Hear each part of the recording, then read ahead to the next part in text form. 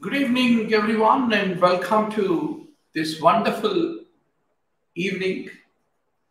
I hope you all have answered the daily 30 questions, 30 MCQs, which has been given as a quiz tournament for all of you. So every day we are going to have uh, uh, a live session, which is uh, 30 questions quiz, sharp at 6 o'clock. After the quiz is over, try to get the link of the quiz beforehand. After the quiz is over, you are going to have discussion.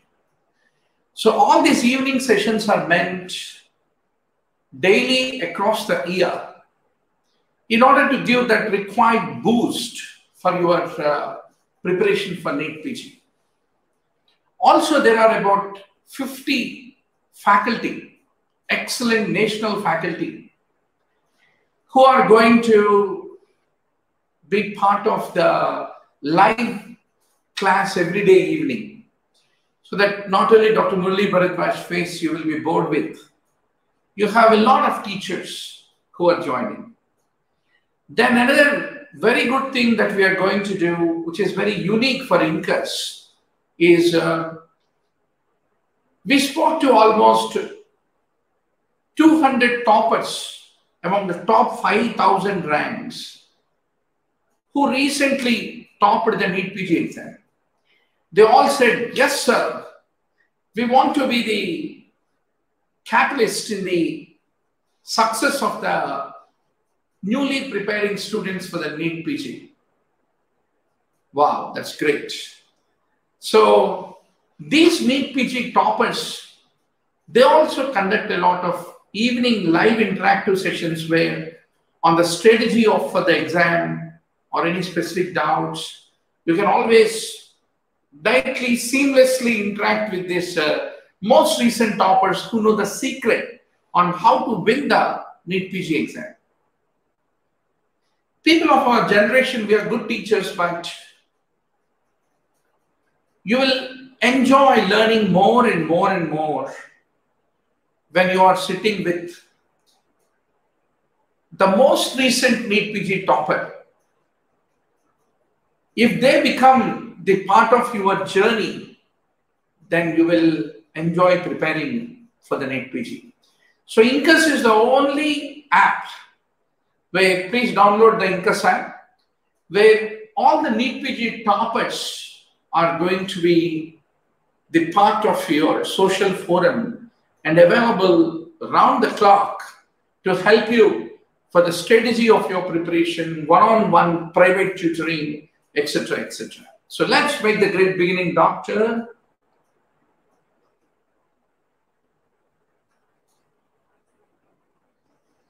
Now, I hope you all have taken the quiz, which was before this session.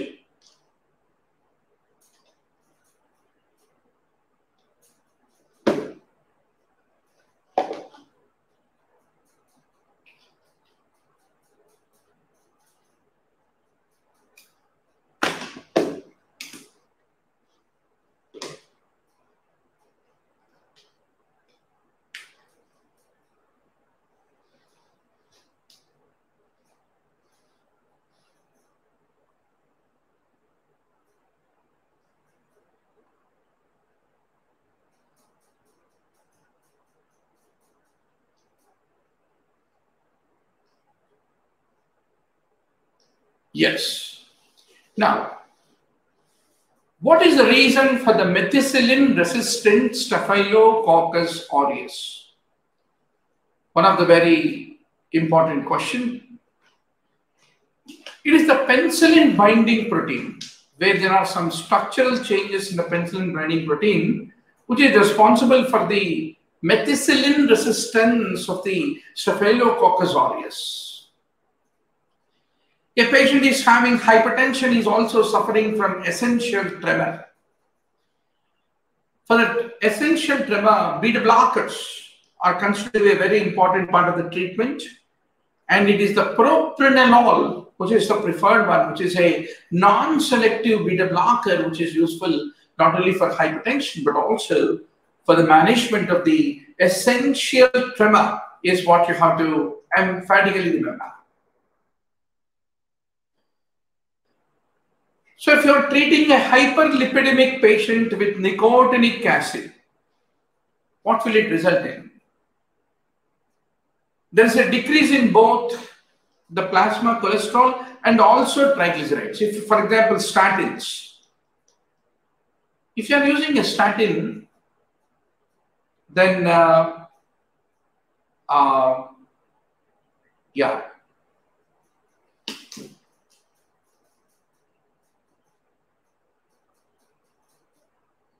I hope I am audible.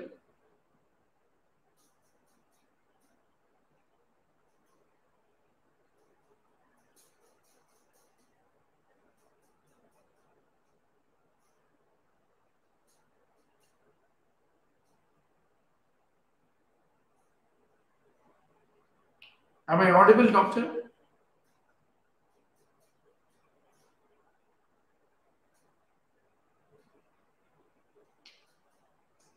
Am I audible, doctor? Good. Now,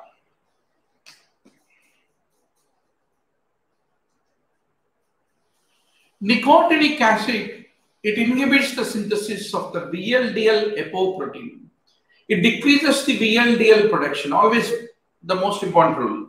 Exogenous triglycerides are carried by chylomicrons.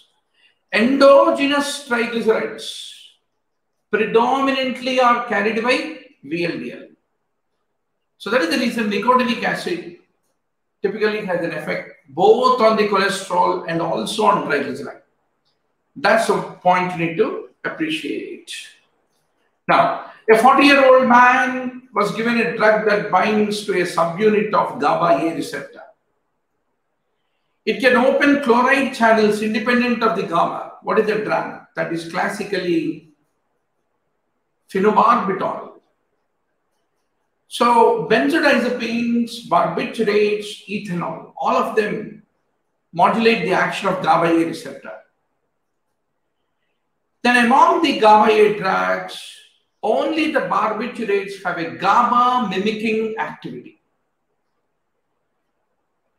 That is what you need to appreciate. Now, a 29 year old is being treated with antidepressant drug and his mood is improving. But he's feeling jittery, agitated at times. And he is he has lost weight during six months. Now a very important question comes what is a drug which can lead to the weight loss as a presenting feature? Weight loss as a presenting feature. So you must be very sure that it is the SSRIs which are associated, like paroxetine. They lead to sedation, jitters, and sometimes you need to use concomitantly a strongly sedating drug like trazodone along with them is uh, what I want to underscore to all of you. And SSRI is always best taken in the morning to avoid the problems of insomnia. And they typically lead to weight loss, at least during the first 12 months is what I want to underscore to all of you. Now the drug and the mechanism of action. How does lithium function? Remember, lithium is sure short MCQ in the tomorrow's NEET PG exam, doctor. Lithium inhibits the recycling of the inositol is what you have to remember. Linezolid can lead to bone marrow suppression is one of the side effects. A seven year old with pharyngitis, he is typically sensitive to amoxicillin. Then what is the preferable choice? Always azithromycin is very good for the upper respiratory tract infection, as all of you know very well. Now, Most of the diseases due to nematodes. How do you treat? We offer mebendazole. Mebendazole is the drug of choice for the treatment of nematodes like hookworm, roundworm, pinworm, whipworm. And pyrantel is uh, effective for, it is generally as effective as mebendazole for the nematodes. And for the tapeworms and flukes, cestodes and trematodes, praziquantel is considered to be very effective is what I want to underscore to all of you. Once more, doctor. The different drugs, antibiotics, what is their mechanism is a favorite question of the examiner. So, clindamycin. Clindamycin uh, typically bind with the RNA basis on the 50S subunit.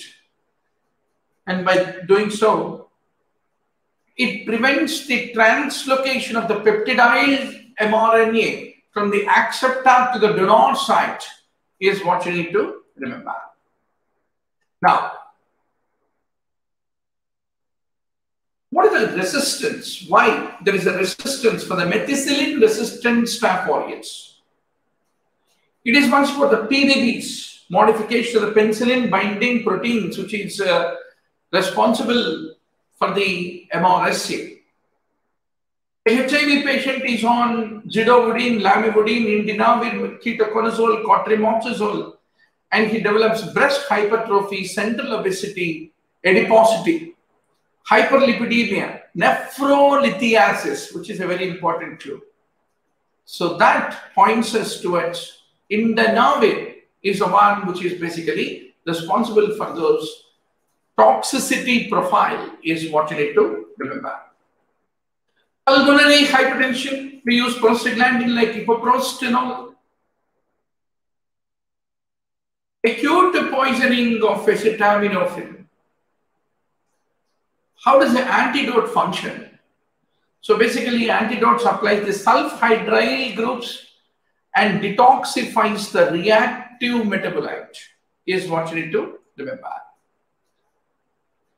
Because acetaminophen, how is it metabolized, doctor? It is by the glucuronidation. Acetaminophen is metabolized into an inactive metabolite is what I want to underscore to all of you. A patient is having allergic rhinitis because of the pollen and you want to give a drug that at least likely to lead to sedation. So what is the choice?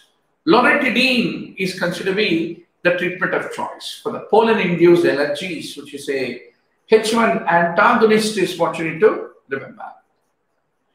Then patent ductus arteriosus. If you want to maintain the patency, patent ductus की patency को maintain करने के लिए आप देना पड़ेगा prostaglandin is what you need to remember.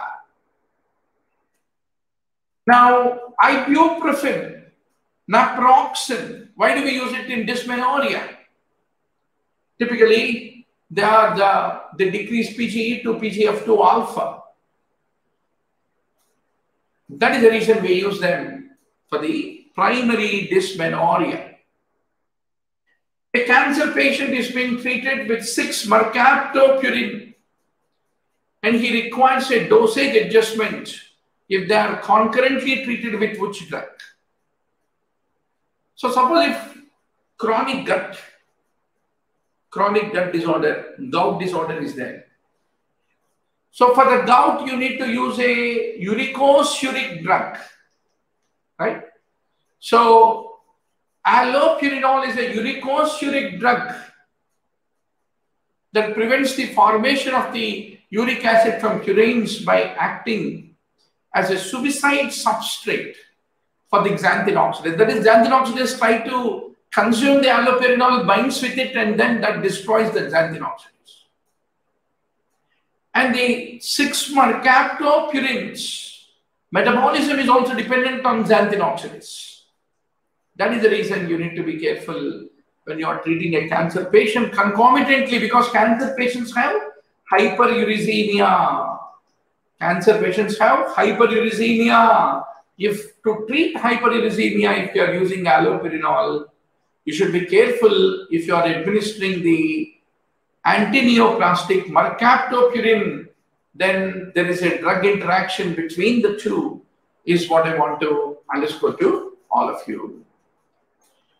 So, remember, doctor, once more I am telling you, you can also tell your friends 6 p.m. to 7.30 p.m. evening. Every day, all 365 days we have a live class. Monday to Saturday.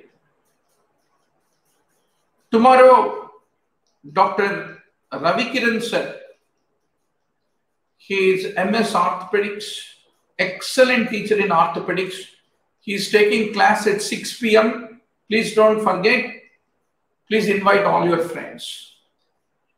Similarly, Dr. Akanksha is a great teacher in gynecology and obstetrics. So in the week, three days in the evening, Dr. Ravi Kiran, and three days by Dr. Akanksha. There is a live class, evening 6 o'clock. Keep yourself tuned. Please click on the bell sign so that you get the notification. Be part of our WhatsApp group. We will shout and tell you that the class is going to start. And there are some excellent teachers. You can see in our YouTube channel, a lot of videos of the lot of NEET PG toppers who wanted to teach to the upcoming aspirants. Yes, we encourage. Tomorrow also, when you get the top rank, no, become our teacher and uh, do the revision for the future generations of students. So, doctor, ADP receptor blocker which prevent platelet aggregation. Which one? It is the clopidogrel. Clopidogrel. So if you look at the platelet aggregation, ADP, thromboxane A2, fibrin, serotonin, any of them can be responsible. Aspirin inhibits thromboxane A2 synthesis. Prostacyclin from the endothelial cells naturally inhibits the platelet aggregation by stimulating PGI2 receptors. Abciximab is a monoclonal antibody against the glycoprotein 2B3A receptor and inhibits aggregation. That is what you need to remember. Alteplase is a thrombolytic agent. It is fibrinolytic agent. So if too much of it is leading to bleeding by breaking down the fibrin, then you require anti-fibrinolytic agent that will be epsilon amino caproic acid is used to antagonize the bleeding caused by alteplase is what I want to underscore to all of you.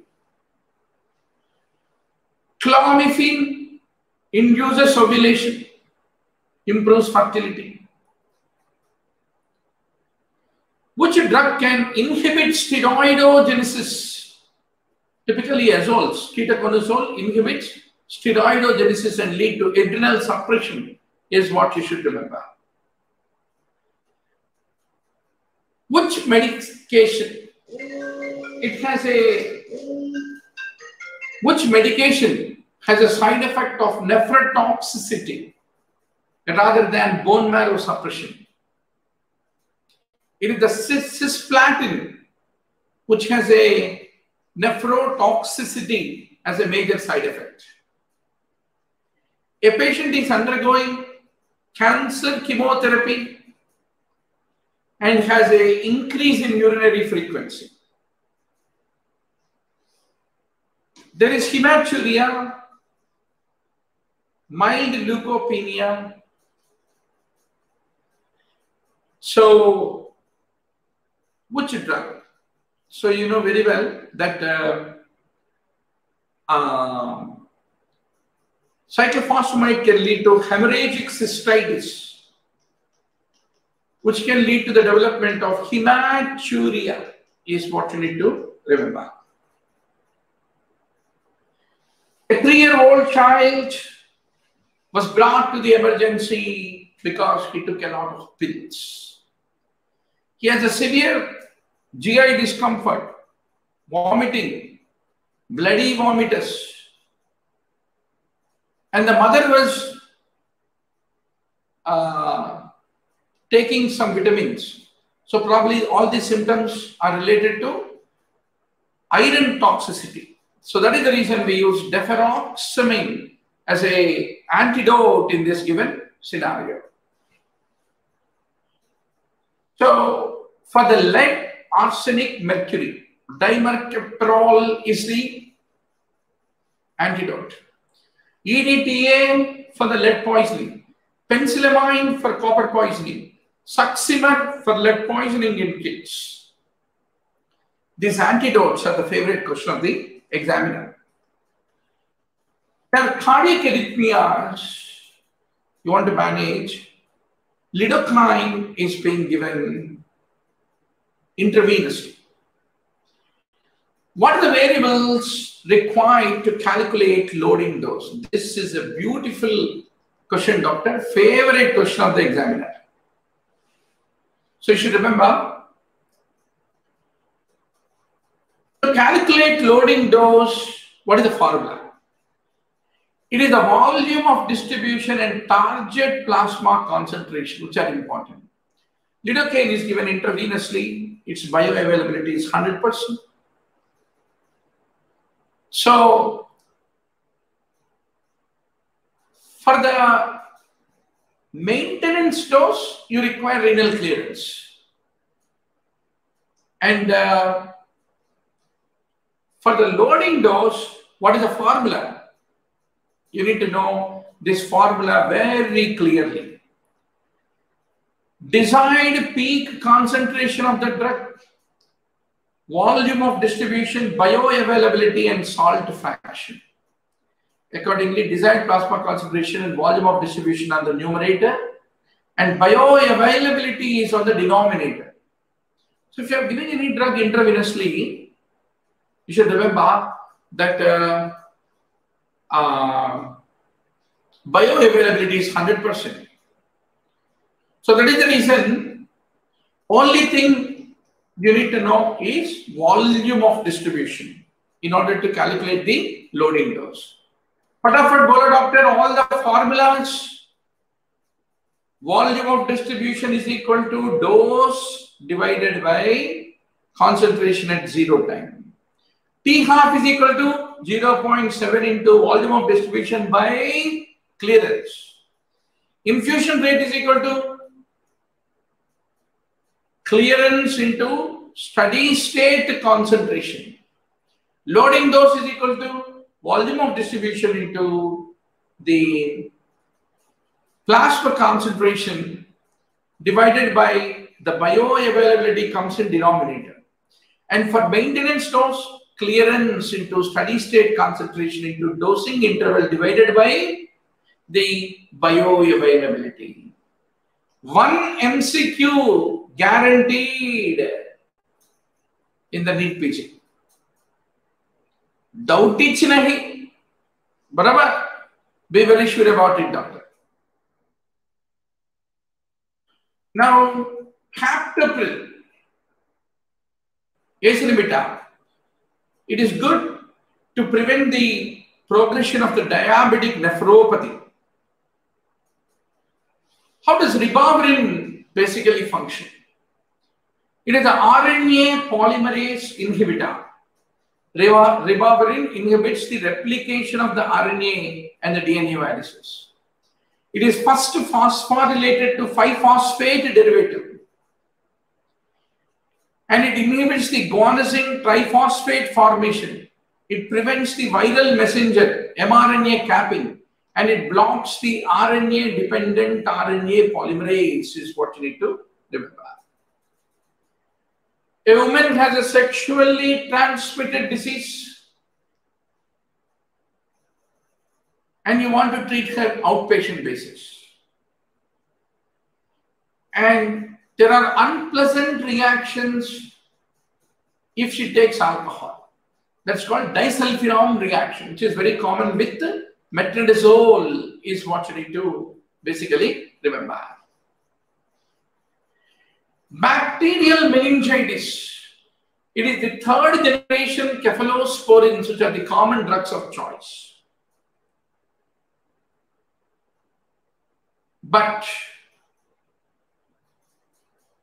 in neonatal meningitis,